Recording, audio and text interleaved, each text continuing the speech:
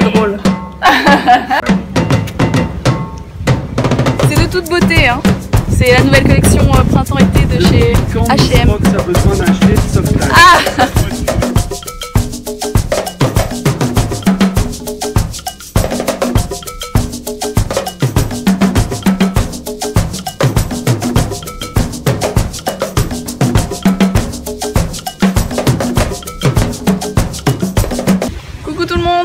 c'est le grand jour. On va faire le soundcheck pour le festival de ce soir. Donc vous allez venir avec moi, je vais vous montrer un peu comment ça se passe. A tout à l'heure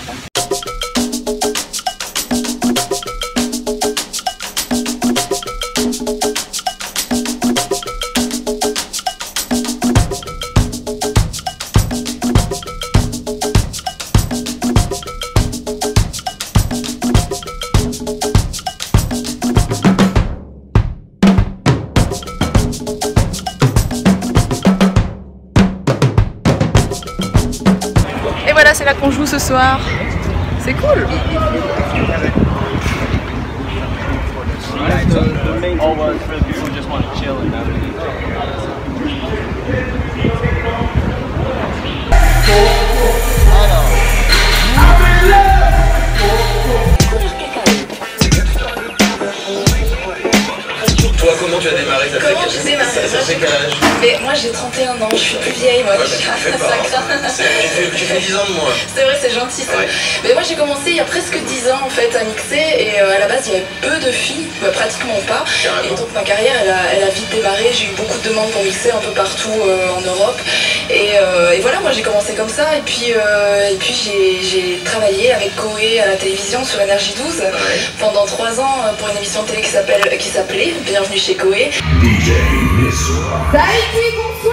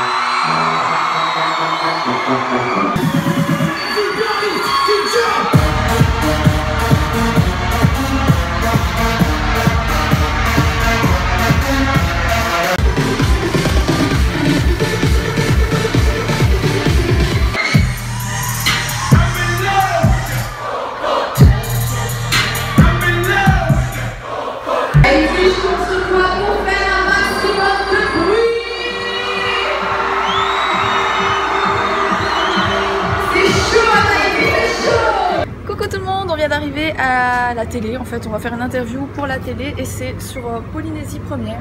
Donc voilà, on y va.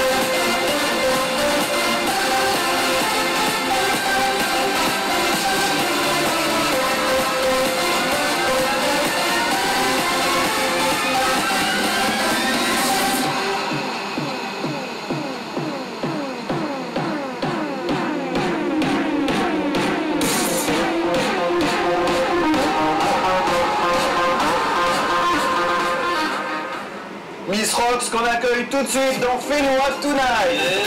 Salut. Tu vas avec gueule. Salut Ils ont passé la journée ensemble, mais ils s'embrassent encore. Ah bah oui, dans la télé, en fait, on. Alors, Miss Rock, c'est pas ton prénom, même. Non. Tu veux pas le dire ton vrai prénom Si, c'est Roxane. J'ai c'est pas bien. cherché bien loin. C'est le petit prénom qu'on me donne depuis que je suis petite, Rox, donc euh, voilà. Et donc c'est parti Miss comme Rox, ça, voilà. avec double X. Aucune arrière-pensée.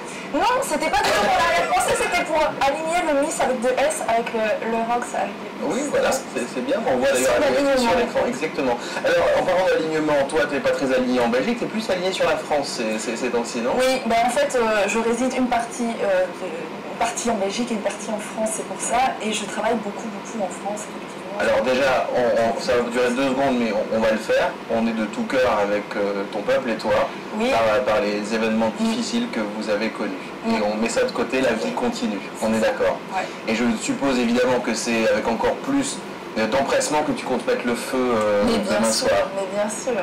Alors c'est marrant parce que c'est multigénérationnel, on le disait, euh, ça est très populaire chez les plus jeunes, mais quand tu vois euh, limite gravateur comme un de 38 ans qui veut se bouger, c'est encourageant quelque part. Oui. Tu as remarqué toi aussi que ton public pouvait évoluer avec euh, le temps, tu fais des plus de Mais, mais euh, en fait, au niveau du public, c'est très. j'ai autant des jeunes que, que, des, que des plus vieux, donc à ce niveau-là, voilà. Alors la musique toi, Miss. Fox, tu l'as, tu l'as rencontré comment? Comment vous êtes euh, connectés En fait, je suivais sur, euh, je suivais euh, sur l'actualité sur Facebook, pareil. Partout, hein Ouais, Facebook, on, on voit tout. Euh, et donc euh, voilà, pareil, je suis passé par mon ami qui, qui est en Europe, et qui, euh, qui lui euh, m'a mis en contact avec. Alors, toi, je disais à l'instant que tu connaissais bien le monde de, de la télé. Tu me parles de cette expérience aussi. Tu, tu faisais DJ, mais sur un plateau télé. Oui, en fait, euh, j'ai été appelée il y a ben, un peu plus, maintenant je dirais 4 ans, oui, ça fait 4 ans parce que ça fait une année que ça s'est arrêté. Ouais. Donc euh, j'ai été appelée il y a 4 ans pour faire un casting euh, pour, pour une émission de télé, là-bas je ne savais pas ce que c'était. Et, euh, et voilà, on m'a proposé d'être DJ dans une émission, donc de faire tout ce qui était programmation musicale de l'émission et, euh, et d'être la DJ. C'est fun.